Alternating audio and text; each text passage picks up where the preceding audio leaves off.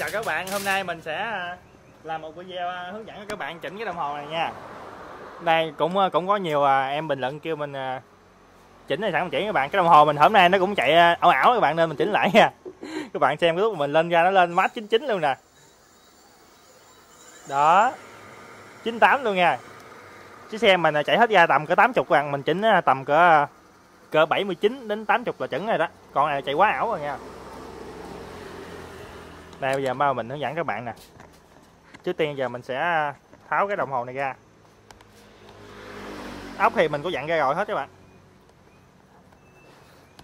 Đây mình tháo đồng hồ ra. Đây.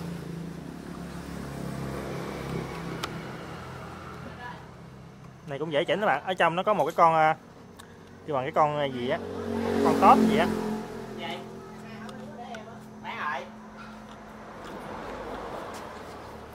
Đây, mình mở được rồi nè.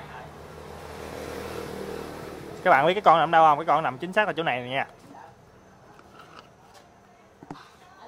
cái lúc mà chỉnh á, cái lúc mà chỉnh thì mình à, mình quay mình quay xe hết ra mình chỉnh nha. Nó mới chỉnh.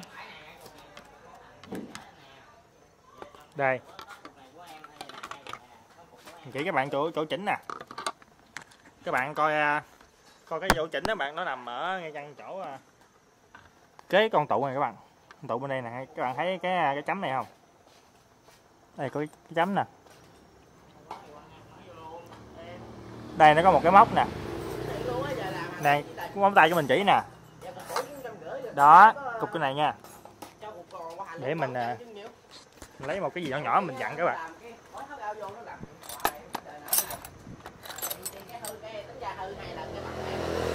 Đây có một cái cây nhỏ nhỏ này dặn. Chỉ được bây giờ mình sẽ dặn nó nha.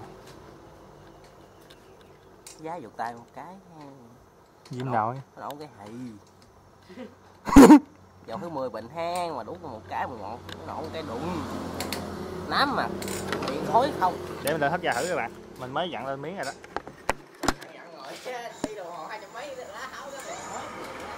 Tám bảy này các bạn có ở tụt xuống này nha. Bây giờ mình cố gắng chỉnh xuống tầm cỡ 80 bảy chín Nó tám bảy là vừa á mình tại vì em bỏ xuống đường á là cái lực nó cản lại nè nó còn nằm ở 80 à. không. không? Phải đâu cái này nó nhận được cái lực của tay ga luôn. Vậy hả? ừ có hỏi em thử này nhận được cái lực tay ga. Chín chục luôn á. Lùi vậy? Hả? để mình à, dặn tiếp tục xuống nha các bạn. Tầm cỡ à, tầm mình thôi mình chỉnh tầm cỡ 70 18 rồi nha Ai đến tính ra tôi tôi tôi bán mà tôi cũng biết luôn á đó, mình chặn xuống một chút nữa nè. Các bạn cùng xem đồng hồ coi nó có giảm bớt không nha. 79 này các bạn. 79 là muốn chuẩn này các bạn. Rồi, ok rồi đó. Mình thấy 79 là chuẩn rồi đó. Xe mình chạy hết ra thì tầm cỡ 80 81 82 trở lại thôi. Mình chỉnh cỡ 79 là nó chuẩn rồi. Đây, các bạn xem.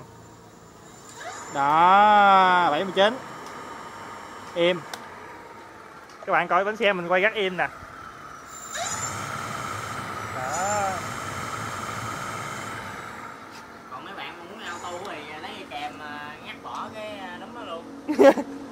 lấy chiều ngắt bỏ đúng là nó nó, nó auto lên mát 99 hả à còn mấy bạn à muốn muốn chạy 4 bình á mà nó lên 99 luôn á thì các bạn cứ dặn cái nút này nha. Cái nút này